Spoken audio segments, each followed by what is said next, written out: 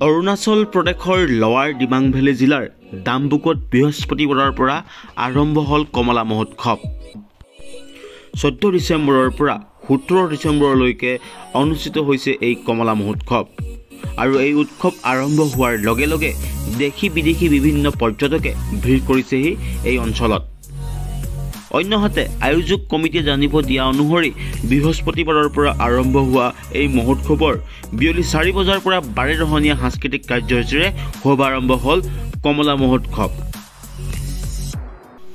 অসম অৰুণাচলৰ সীমান্তৱৰ্তী শদিয়াৰ পৰা প্ৰায় পঞ্চাছ কিলোমিটাৰ দূৰত্বত অৱস্থিত দিবাং নদীৰ পাৰত থকা এই অঞ্চলটোত দুহেজাৰ চৈধ্য বৰ্ষৰ পৰা কমলা মহোৎসৱ চলি আছে।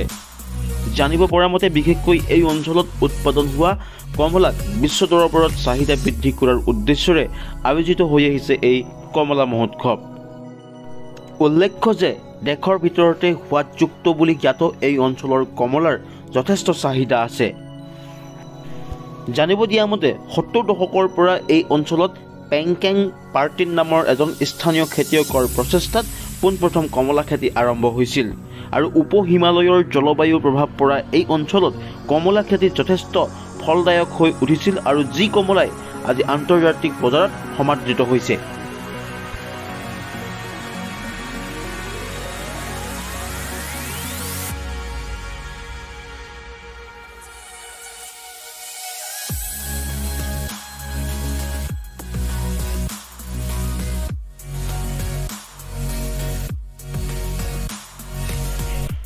কমলা মহোৎসৱৰ আয়োজক সমিতিয়ে জানিব দিয়া অনুসৰি বিগত সময়ছোৱাত এই অঞ্চলটো কলীয়াপানী নামে খ্যাত আছিল আৰু যোগাযোগ যাতায়ত ইত্যাদিৰ ক্ষেত্ৰত মূল ভূখণ্ডৰ পৰা যথেষ্ট বিতাড়িত হৈ আছিল।